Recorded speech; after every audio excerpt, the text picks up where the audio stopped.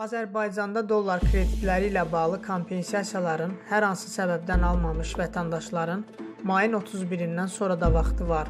Biqaz xəbər verir ki, bunu reportun sorğusuna cavab olaraq Maliyyə Bazarlarına Nəzarət Palatasının mətbuat katibi Elşən Allahverdiyev bildirib.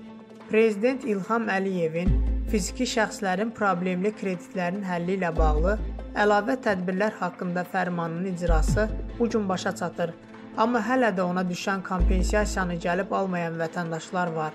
Həmin vətəndaşlar kompensasiyalarını ilin sonuna qədər götürə bilərlər. Palata rəsmisi fərmanın icrası ilə bağlı yaradılmış apellyasiya komissiyasının fəaliyyəti barədə məlumat verib.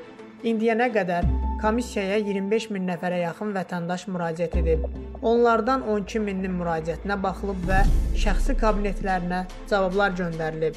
Müraciətlər xüsusi araşdırma tələb etdiyi üçün müəyyən qədər vaxt alır. Baxılmamış müraciət qalmayacaq. Bütün müraciətlər növbəllik prinsipi ilə cavablandırılacaq. Vətəndaşlara vaxtaşırı şəxsi kabinetlərini yoxlamaları tövsiyə olunur.